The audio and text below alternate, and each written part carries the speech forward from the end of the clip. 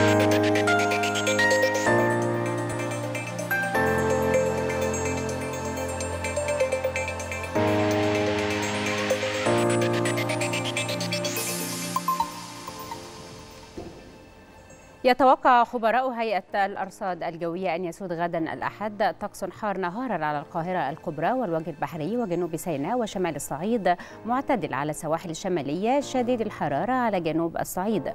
بينما يسود طقس لطيف ليلا على القاهرة الكبرى والوجه البحري وشمال الصعيد مائل للبرودة على السواحل الشمالية معتدل على جنوب سيناء وجنوب الصعيد. وهذه درجات الحرارة المتوقعة غدا على بعض مدن ومحافظات الجمهورية وعدد من العواصم العربية والعالمية.